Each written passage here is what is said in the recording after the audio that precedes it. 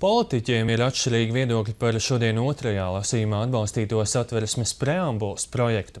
Nacionālā apvienība tajā saskata virzību uz Latvijas valstiskumu stiprināšanu, bet apvienības saskaņas centrs – sabiedrības sašķelšanu. Parlamentam par tās tekstu izdevās vienoties tikai pēc garām un spraigām diskusijām. Stāst Madara Līcīte. Lai Latvijā mūžīgi mūžos ir miers, brīvība un saskaņa, latvieši ir valsts nācija. Sabiedrības galvenā pamatvērtība ir arī laba pārvaldība.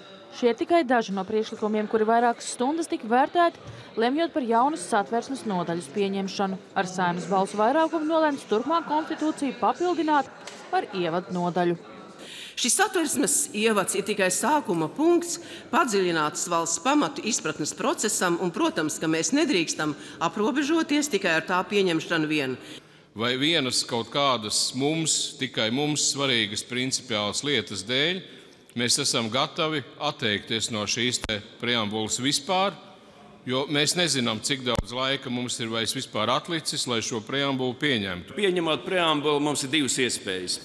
Pirmais, vai nu radīt vienu vēsturisku tekstu ar mūžības pieskārienu, atļaušos tā teikt, par valsts sūtību un būtību, un to uzdāvināt Latvijas valstī pirms simtgadus, vai nu radīt šodienas politiskās konjunktūras tādu frāžu savirknējumu.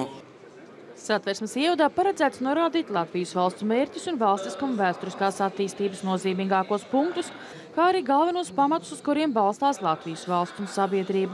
Par grozījumu pieņemšanu balsoja visi koalīcijas deputāti, bet pret bija opozīcija esošais saskaņas centrs. Šodien, pēc 92 gadiem, likumdevējs mēģina satversmes tevu mutē ielikt pavisam citu tekstu. Satversmes grozījuma projekts Saimas komisijās un parlaments sēdē vēl jāvērtē būs trešajā lasījumā. Madara Liecītāja Garas Kovaļevskis, Latvijas televīzija.